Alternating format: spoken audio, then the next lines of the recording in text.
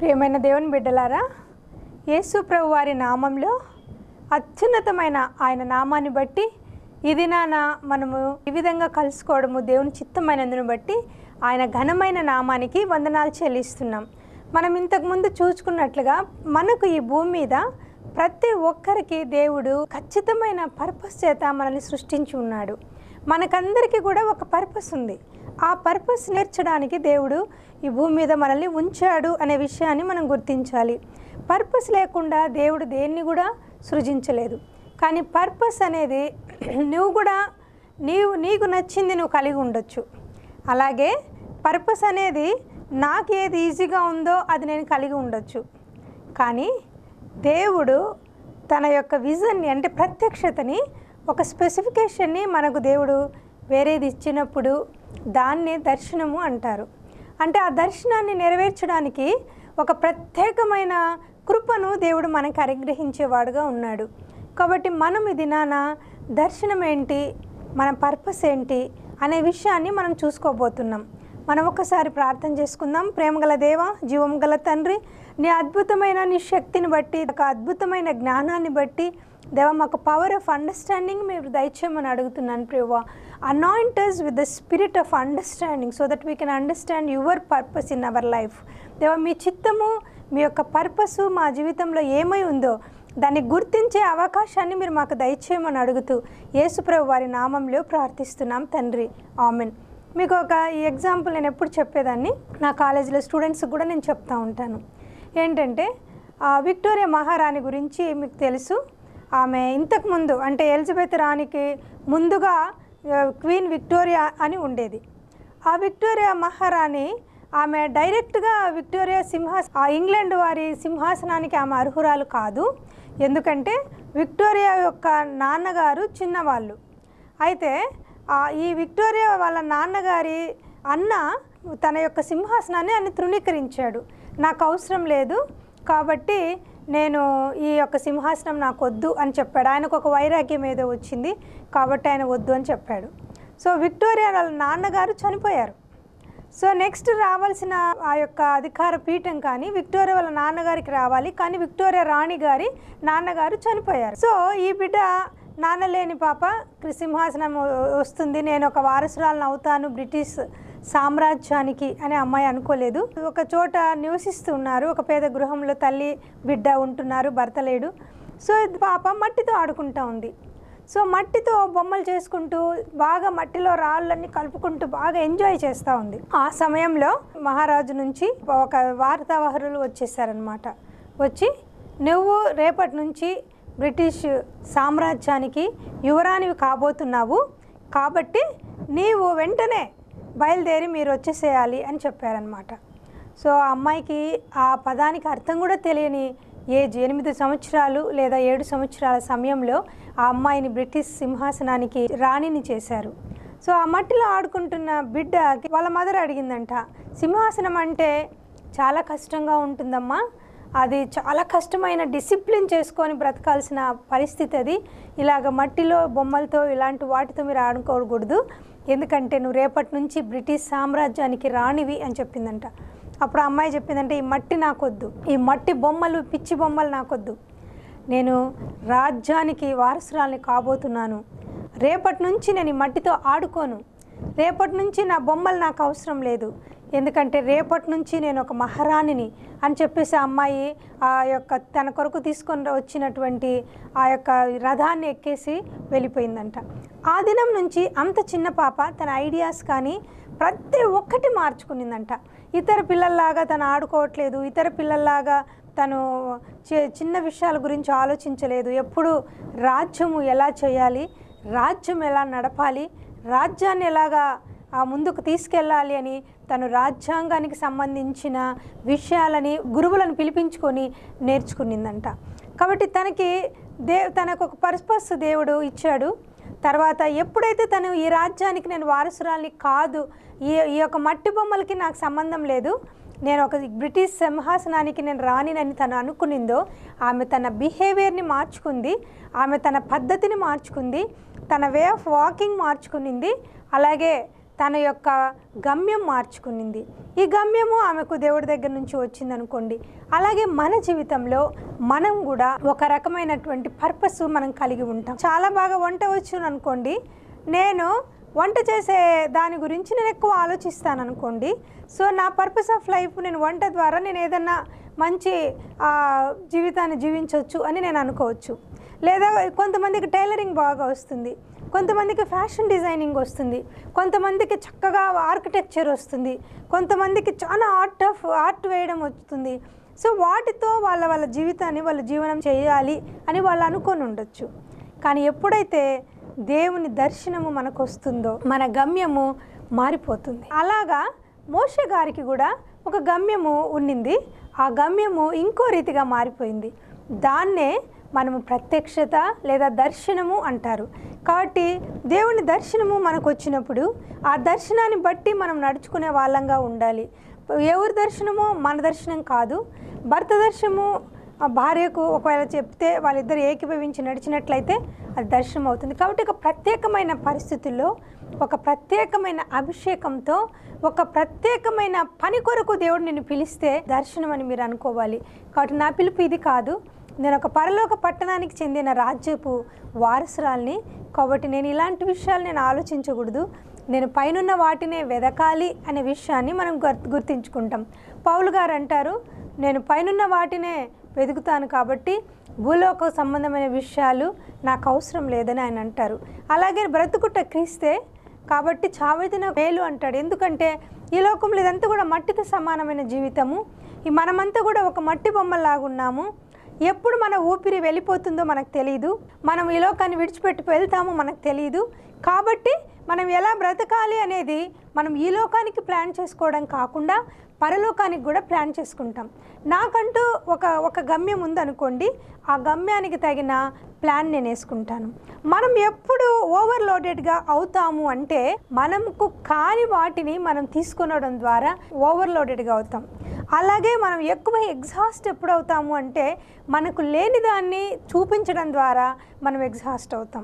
ఎందుకంటే యాక్చువల్గా నేను చాలా చెడ్డదాన్ని అనుకోండి కానీ నేను చాలా మంచిదానిగా నేను బయటకు బిహేవ్ చేయాలనుకున్నాను అనుకోండి నేను నటించాలి. ఎంతసేపు నటించాలి? ఒక రెండు గంటలు ప్రజలంతా మనం చూసేటప్పుడు నటిస్తాం. తర్వాత మన ఒరిజినల్ క్యారెక్టర్ బయటకు వస్తుంది. సో ఆ నటనలో మనం జీవించడం ద్వారా మనం ఎగ్జాస్ట్ అవుతాం. చాలామంది నటి నటులకు కౌన్సిలర్స్ ఉంటారు. అంటే వాళ్ళ మైండ్ ఎలా పనిచేస్తుంది? ఇటు సైకియాట్రీ డాక్టర్స్ వాళ్ళకు ఉంటారు. వాళ్ళకు ట్రీట్మెంట్ ఇస్తుంటారు ఎందుకంటే వాళ్ళు నటిస్తుంటారు వాళ్ళు జీవించడం కాదు. ఒరిజినల్ జీవితం అది ఉండదు. ఒరిజినల్గా అమ్మాయి మా అబ్బాయి వాళ్ళు మనకు తెర మీద చూస్తున్న వాళ్ళ మధ్యలో అసలు ప్రేమ ఉండదు. కొన్నిసార్లు చాలా ద్వేషంతో కలిగిన వ్యక్తులు ప్రేమ నటించి తెర మీద ఎక్కే వాళ్ళుగా ఉన్నారు. కాబట్టి ఇలాంటివన్నీ మనం వింటున్నప్పుడు మనం నటించడం ద్వారా మనం ఎగ్జాస్ట్ అవుతామని తెలుసుకోవాలి. ఒక నిజమైన లీడర్కి ఉండాల్సినది ఏంటంటే బయట మనుషులని మనం మెప్పించే వాళ్ళుగా ఉండకూడదు. అలాగే నెక్స్ట్ వచ్చేసి బయట యాక్టివిటీస్ని మనము ఇతరులకి మనం చూపించాల్సిన అవసరం లేదు. ఎందుకంటే ఇన్సైడ్ మనము డిసిప్లిన్ చేసుకోవాల్సిన అవసరం ఉంది. ఎప్పుడైతే మనం ఇన్సైడ్ డిసిప్లిన్ చేసుకుంటామో మనం యాటి ఆటోమేటిక్గా మనం డిసిప్లిన్గా ఉంటాము. కాబట్టి మనం మారాల్సిన సెట్ ఏంటి అంటే మన మైండ్ సెట్ మన మైండ్ సెట్ ఎప్పుడైతే మార్చుకుంటామో మనం ఆటోమేటిక్గా బయటికి కూడా మనము ఎలా ఉండాలో అలాగే ఉంటాం. లేకపోతే మనం యాక్షన్ చేస్తుంటాం. మనం ఒకరోజు యాక్షన్ చేస్తాం రెండు రోజులు యాక్షన్ చేస్తాము మూడో రోజు బయటకు రాదు. నాకు తెలిసిన ఒక ఒక ఆమె ఉంది. ఆమెకు వంట అంటే అసలు ఎలా చేయాలో తెలీదు. కానీ తను నా దగ్గరకు వచ్చి మ్యామ్ నేను వంట చేస్తాను మీకు వంట వంట చేయడానికి ఉంటాను హెల్ప్ చేస్తాను అని చేరింది. చేరిన మొదటి రోజు నాకు అర్థమైంది ఈమెకు ఆనియన్స్ కూడా తరగడం రాదు అనేసి. సో నేను అడిగాను నీకు నిజంగా వంట వచ్చా? అంటే లేదు మ్యామ్. ఎందుకంటే నేను మీ దగ్గర చేరాలి అనే ఉద్దేశంతో నేను అలా చెప్పాను. నాకు నిజంగా రాదు అనింది. అంటే షీ వాంటెడ్ టు ప్రిటెండ్ అంటే వంట వచ్చు అని నటించాలని చూసింది. నేను కూడా ఆమెను పోగొట్టుకోలేదు. ఆమె ఏ పని అయితే చేయగలదో నేను ఆ పనిని ఆమెకి ఇవ్వగలిగాను. కాబట్టి ప్రియమైన స్నేహితులారా మనం ఎప్పుడు లోడెడ్గా అవుతామంటే అన్నీ నేను చేయగలను అని నువ్వు అనుకున్నప్పుడే నువ్వు లోడెడ్గా అవుతావు. అంటే నీకు చేతగానిది తనం ఎప్పుడు వస్తుందంటే మన భారం మనమే భరించుతాం. అందరి భారాలు మనమే భరించాలనుకుంటాం. అందరి విషయాలు మనకే కావాలనుకుంటాం. అందరినీ మనమే సాటిస్ఫై చేయాలనుకుంటాం. కాబట్టి మనం లోడెడ్గా అంటే నెత్తి మీద బరువు పెట్టుకొని ఉంటాం. దేవుని వాక్యం చెప్తుంది నీ భారము యహోవ మీద మోపము. అప్పుడు నీ ఉద్దేశాలు సఫలమవుతాయి. అదొక పాయింట్ గుర్తుపెట్టుకోండి. కాబట్టి మనము నేనే అన్ని చేయాలి నేనే అన్నీ చేయాలి నేనే వీళ్ళకు నచ్చ చెప్పాలి నేనే వీళ్ళతో మాట్లాడాలి నేను చేస్తేనే జరుగుతుంది అని మనం అనుకోవడం ద్వారా మనం ఓవర్లోడెడ్గా అవుతాం. మీరు బాగా ఆలోచిస్తే మరియా గురించి నేను లాస్ట్ టైం చెప్పాను. అవసరమైంది ఒక్కటే అని దేవుడు చెప్తాడు. కాబట్టి మరియా ఏమనుకుందంటే అజంప్షన్స్. అంటే యేసుప్రభు శిష్యులు ఆకలి కొని ఉన్నారు. యేసుప్రభు వారికి నేను ఆకలి తీర్చాలి. యేసుప్రభువుకి నేను మంచిగా వంట చేసి పెట్టాలి తప్పు లేదు. యేసుప్రభుకి మనం చేయడం కంటే అంతకంటే భాగ్యం భూమి మీద మనకేమీ లేదు. అలాగే ఆతిథ్యం చేయడానికి మర మర్చిపోకూడదు. మనం ఇతరులకు చేసి పెట్టడం ద్వారా మనం నష్టపోయేది ఏమీ లేదు. దేవుని ఆశీర్వాదాలు మనకు వస్తాయి కానీ నేను ఆ టాపిక్ మా మాట్లాడటం లేదు. కానీ అసంప్షన్. వాళ్ళు నిజంగా ఆకలితో ఉన్నారో లేదో మనకు తెలియదు నేను ఆతిథ్యం చేయడం మరచిపోకూడదని దేవుని వాక్యంలో ఉంది కాబట్టి నేను ఎవరైనా ఇంటికి వస్తే ఒకటి తర్వాత ఒకటి ఒకటి తర్వాత ఒకటి ఒకటి తర్వాత ఒకటి నేను అడుగుతుంటాను. తింటారా? తిననక్క అంటే పోనీ ఇది తింటారా? అది తిననక్క పోనీ ఇది తింటారా? అని అడుగుతుంటాను. కానీ వాళ్ళంటారు అక్క ఇవన్నీ మాకొద్దు నువ్వు ఒక ఐదు నిమిషాలు మాతో మాట్లాడతారా? మీతో మాట్లాడిపోదామని వచ్చాను అని దేవుడు కూడా మనతో అలాగే మాట్లాడాలని ప్రయత్నిస్తుంటాడు. దేవుడు కూడా తన స్వరాన్ని మనకు వినిపించాలని చూస్తూ ఉంటాడు. But we're overloaded not to hear from him ఆయన నుంచి వినడానికి మనకు టైం లేనంతగా మనం ఉంటాం. ఆ రకంగా మనం ఏమైపోతామంటే దేవునికి సమయం ఇవ్వము ఆయన మనతో మాట్లాడడానికి మనం సమయం ఇవ్వము. అలాగే మనం ఆయనతో మాట్లాడడానికి సమయం ఇవ్వము. ఎక్కువ కార్యక్రమాలను మనం పెట్టుకొని ఈ కార్యక్రమమే నాకు ఈ కార్యక్రమం ఇక్కడి నుంచే నాకు ఇక్కడికి ఇక్కడి నుంచే నాకు ఇక్కడికి ఇక్కడి నుంచి ఎప్పుడు మనకు సమయం ఉండదు. దేవుడు కొన్నిసార్లు మనతో మాట్లాడుతూ ఉంటాడు. కొన్నిసార్లు నేను వెయ్యి స్తోత్రాలు దేవునికి చేయాలి ఈ రోజులో. ఎందుకంటే ఈరోజు నేను ఫాస్టింగ్ ఉన్నాను కాబట్టి నేను వెయ్యి స్తోత్రాలు చేయాలి అని నేను అనుకుంటాను. అనుకుని నేను ఏం చేస్తానంటే తిరుగుతూ తిరుగుతూ తిరుగుతూ తిరుగుతూ వంట చేస్తూ ఆ యొక్క వెయ్యి స్తోత్రాలు చదువుకుంటూ తిరుగుతూ ఉంటాను. కానీ అలాగే నేను చేస్తున్నప్పుడు ఒకరోజు దేవుని స్వరాన్ని నేను విన్నాను. I want to hear from you not all these things నువ్వు ఒకసారి నాతో మాట్లాడు.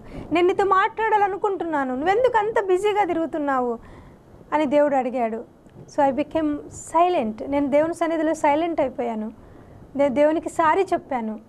నీ దగ్గర కూర్చొని నువ్వేం చెప్తావో వినడానికంటే నేను ఆ వేయి స్తోత్రాలు చెప్పుకుంటూ తిరగాలనేది నేను ఇంపార్టెంట్గా అనుకున్నాను. అవసరమైంది ఒక్కటే. ఆయన నాకేం చెప్తున్నాడు? ఆయన ప్రజలకు ఏం చెప్పమని ఆయన నాకు చెప్తున్నాడు? ప్రజలకు ఏం అవసరమని దేవుడు చెప్తున్నాడు? మరియా యేసు ప్రభు వారు ఆకలిగా ఉన్నారేమో? ఆయన శిష్యులు ఆకలిగా ఉన్నారేమో? కాబట్టి మార్త వారి శిష్యులు ఆకలిగా ఉన్నారేమో అని అనుకుంది. కానీ దేవుడు అంటాడు అవసరమైంది ఒక్కటే. నువ్వు ఆకలిగా ఉన్న విషయం నువ్వు మర్చిపోతావు. నువ్వు ఆకలిగా ఉన్నావు. ఆత్మీయ ఆకలితో ఉన్నావు. ఆయన దగ్గర కూర్చొని ఆయన చెప్పే మాటలు నువ్వు వింటే ఆయన నీ ఆత్మీయ ఆకలి ఆయన తీర్చేవాడుగా ఉన్నాడు.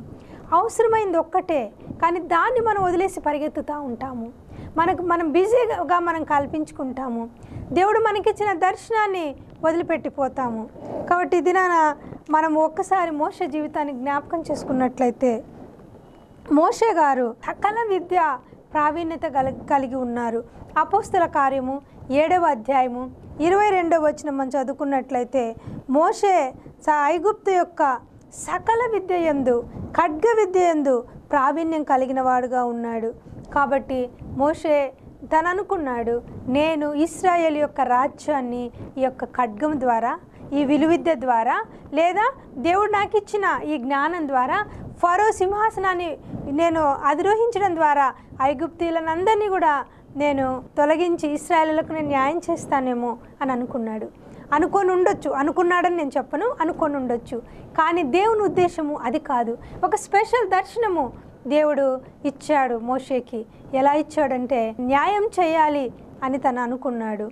కాబట్టి ఇస్రాయేలీలు ఐగుప్తీలు పోట్లాడుతూ ఉన్నప్పుడు ఆయన ఏం చేశాడు అంటే ఐగుప్తిని చంపేసి ఇసుకలో పాతి పెట్టేశాడు. సో ఈ స్టోరీ అంతా కూడా మీకు అందరికీ తెలుసు నిర్గమాకాండంలో ఉంది. సో ఆయన పాతి పెట్టినప్పుడు ఆ యొక్క ఇస్రాయలీలు ఎవరో చూశారు. సో వాళ్ళు నెక్స్ట్ ఇస్రాయలీలు ఇస్రాయలీలు గొడవ పడుతున్నప్పుడు ఆయన వాళ్ళ మధ్య తీర్పు తీర్చడానికి వెళ్ళాడు. వాళ్ళకు న్యాయం చెప్పడానికి వెళ్ళాడు. అప్పుడు వాళ్ళు అంటారు ఐగుప్తుని చంపినట్లుగా నువ్వు మమ్మల్ని చంపాలనుకుంటున్నావా? మా మీద నిన్ను తీర్పరినిగా నియమించిన వారు ఎవరు నిన్ను నువ్వు నియమించుకున్నావా అని అడుగుతారు. భయపడ్డాడు. న్యాయం చేయాలనుకున్నాడు. నేను తన యొక్క అధికారాన్ని ఉపయోగించుకొని లేదా ఫరో యొద్ద విలువిద్యలన్నీ నేర్చుకున్నాడు. అవన్నీ ఉపయోగించుకొని ఇస్రాయేలీలకు న్యాయం చేయాలని అనుకున్నాడు. ఇస్రాయేలీలకు మంచి చేయాలని అనుకున్నాడు. కానీ దేవుని చిత్తంలో అలా లేదు. సో ఆయన పారిపోయాడు. మిథ్యాన దేశానికి పారిపోయాడు. పారిపోతూ ఉన్నాడు. ఆ సమయంలో అక్కడికి వెళ్ళిన తర్వాత పెళ్ళి చేసుకున్నాడు. నలభై సంవత్సరాల సమయంలో ఆయన ఈ యొక్క ఐగుప్తును వదిలేసి వెళ్ళిపోయాడు. తిరిగి నలభై సంవత్సరాల తర్వాత అక్కడ దేశం కాని దేశంలో ప్రజలు కాని మధ్యలో మిద్యానీయుల మధ్యలో తను ఉన్నాడు. ఆ వాళ్ళతో తను మాట్లాడుకుంటూ వాళ్ళతో తను తిరుగుతూ ఉన్నాడు. కానీ దేవుడు దర్శించాడు మోషేని. ఆయన పట్ల దేవుడికున్న విజన్ని ప్రత్యక్షతని దేవుడు ప్రత్యక్షపరుచుకున్నాడు. మోషే అక్కడ గొర్రెలు కాచుకుంటున్నాడు. విలువిద్యలన్నీ అభ్యసించిన మోషే అపోస్తుల కారం ఏడు ఇరవై రెండులో అంటాడు. ఆయన ఆయన ఐగుప్తు విలువిద్యలన్నీ నేర్చుకున్నాడు. ఖడ్గాలు ఎలా ఉపయోగించాలో ఆయనకు తెలుసు. బాణాలు ఎలా వేయాలో ఆయనకు తెలుసు. ఏ ఏ విద్య అయినా కూడా ప్రతి విద్యలో ప్రావీణ్యం కూడా నేర్చుకున్నాడు. మామూలుగా నేర్చుకోవడం వేరు. ఎక్సలెన్సీ కలిగి ఉండడం వేరు. He was excelled in every every every effort of the Egyptians. వాళ్ళకున్న ప్రతి దానిని ఈయన ఎఫర్ట్ఫుల్గా నేర్చుకున్నాడు ఎక్సలెన్సీని ప్రదర్శించాడు. కానీ God's will is not that. దేవుని చిత్తం అది కాదు. దేవుని చిత్తం అది కాదు కాబట్టి ఆయన వెళ్ళిపోయాడు. సాత్వికుడయ్యాడు. విలువిద్య పనికి రాలేదు. ఖడ్గ విద్య పనికి రాలేదు. ఆ ఎగుప్తిలో ప్రావీణ్యం పొందిన ఏ ప్రావీణ్యత పనికి రాలేదు. సాత్వికుడైనాడు దీనుడైనాడు గొర్రెలు కాచుకుంటున్నాడు. మిథ్యాన అరణ్యంలో ఆయన గొర్రెలు కాచుకుంటా ఉంటా ఉన్నప్పుడు దేవుడు ఆ బిడ్డతో దేవుడు ఆ బిడ్డను దర్శించాడు. ఎలా దర్శించాడంటే అతను అక్కడ చూసుకుంటా ఉన్నప్పుడు నిర్గమాకాండము మూడవ అధ్యాయము. మొదటి మూడు వచనాలు మనం చదువుకుందాము. మోషే మిద్యాను యాజకుడైన ఇత్రో అను తన మామ మందను మేపుచు ఆ మందను అరణ్యము అవతలకు తోలుకొని దేవుని పర్వతమైన హోరేబుకొచ్చినాడు. దేవుని పర్ మధ్యాహ్నంలో నుంచి ఆ యొక్క అరణ్యంలోనికి వెళ్ళిపోయాడు.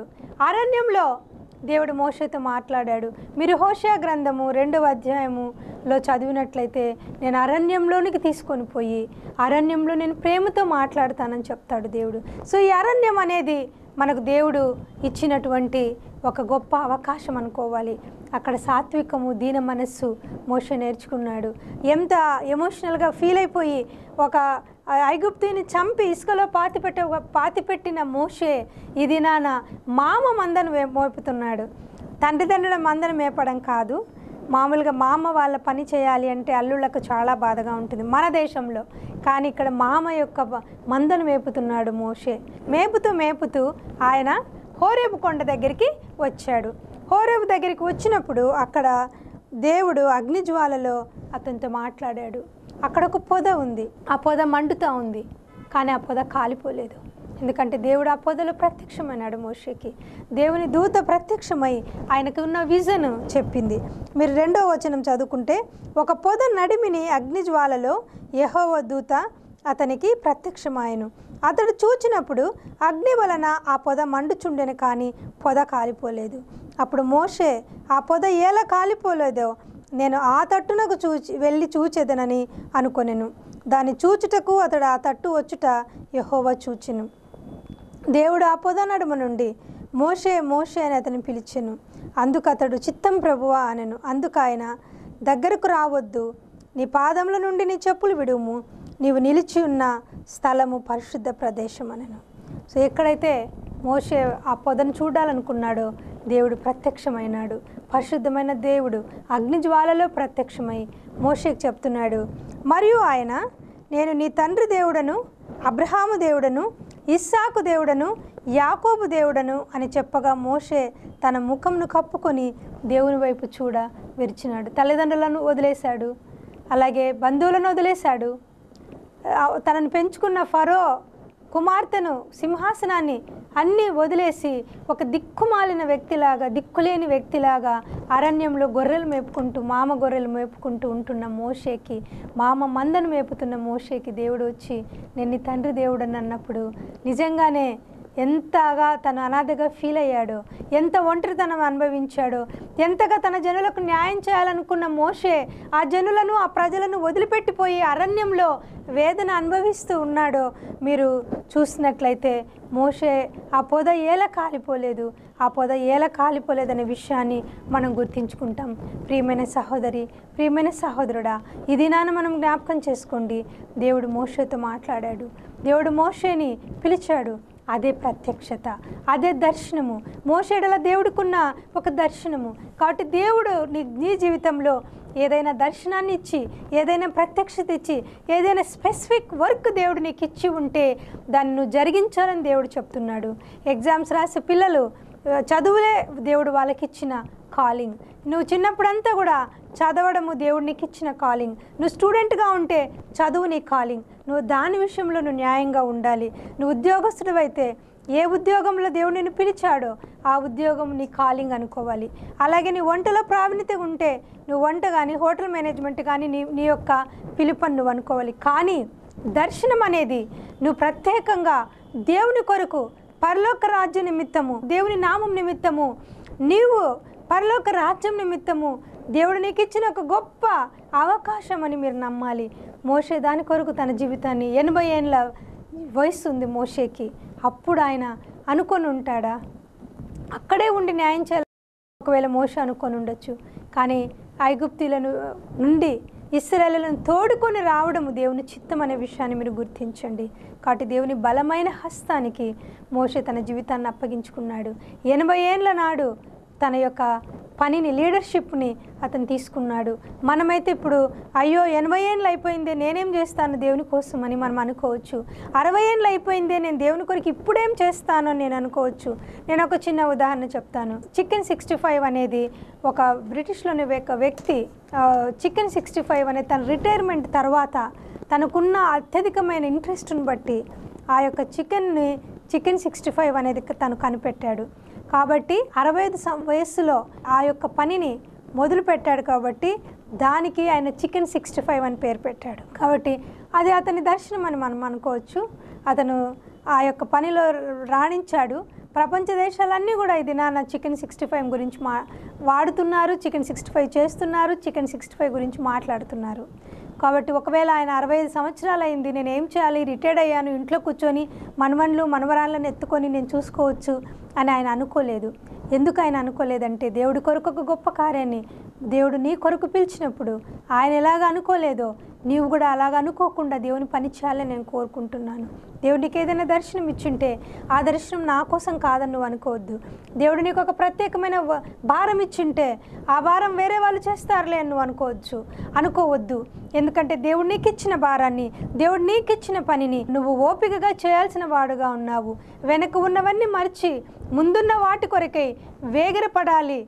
ముందున్న వాటిని పట్టుకోవడానికి పొందుకోవడానికి మీరు వేగిరపడాలని దేవుడు చెప్తున్నాడు. ట్వంటీ ట్వంటీలో దేవుడు నాకు ఇచ్చిన వాగ్దానం ఏంటంటే నీకు కలిగి ఉన్న దాన్ని గట్టిగా పట్టుకోని. ఒకవేళ నేను పట్టుకోకపోతే అది పోతుందేమో. కాబట్టి నాకున్న కలిగి ఉన్న దాన్ని ఏదైనా కావచ్చు నా టాలెంట్ కావచ్చు నా మినిస్ట్రీ కావచ్చు లేదా దేవుడు నాకు ఇచ్చిన ప్రత్యేకమైన అభిషేకం కావచ్చు whatever it may be I have to hold it కాబట్టి దేవుడు నీకు ఇచ్చిన దర్శనాన్ని నువ్వు పట్టుకో. ఒకవేళ దర్శనం కోల్పోయి ఉంటే తిరిగి కళ కను నేను అడుగుతున్నాను.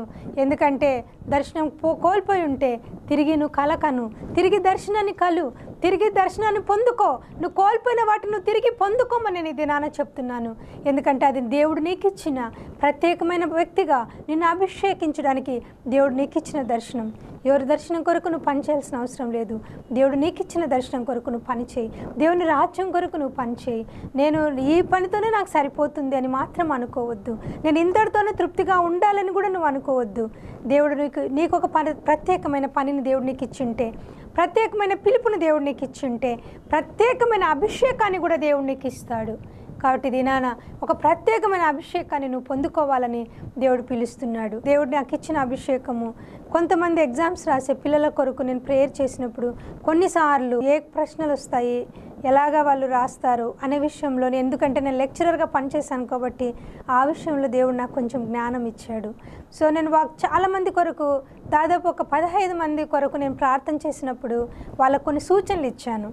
ఆ సూచనలు వాళ్ళు తీసుకున్నప్పుడు వాళ్ళు పరీక్షల్లో పాస్ అయ్యి ఉద్యోగాలు సంపాదించుకున్నారు. నాకు తెలిసి ఈ యొక్క టూ త్రీ ఇయర్స్లో దాదాపు fifteen to twenty members government job తెచ్చుకున్నారు.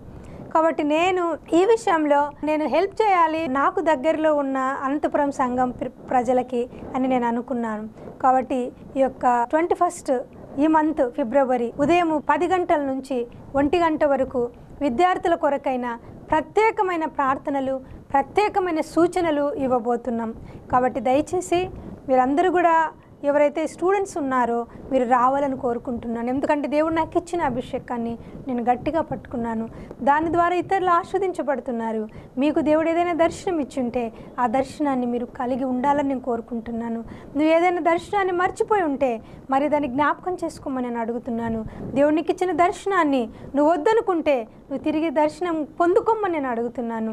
ఎందుకంటే నీకు కలిగి ఉన్న దాన్ని గట్టిగా పట్టుకోమని దేవుడు చెప్తున్నాడు. దేవునికి ఏ విషయంలో అయితే ప్రావీణ్యత ఇచ్చాడు దాని విషయంలో నువ్వు కేర్ఫుల్గా ఉండాలని కూడా నేను అడుగుతున్నాను. దేవుడు నిన్ను అభిషేకించినప్పుడు అభిషేకాన్ని కూడా నువ్వు కాపాడుకోవాల్సిన వాడుగా ఉన్నావు. కాబట్టి దేవుని దినాన ఒక ప్రత్యేకమైన పరిస్థితుల్లో ప్రత్యేకమైన పని కొరకు ప్రత్యేకమైన అభిషేకంతో దేవుడు నిన్ను నింపాలని నేను కోరుకుంటున్నాను. దేవుని నామానికి మహిమ కలుగును గాక.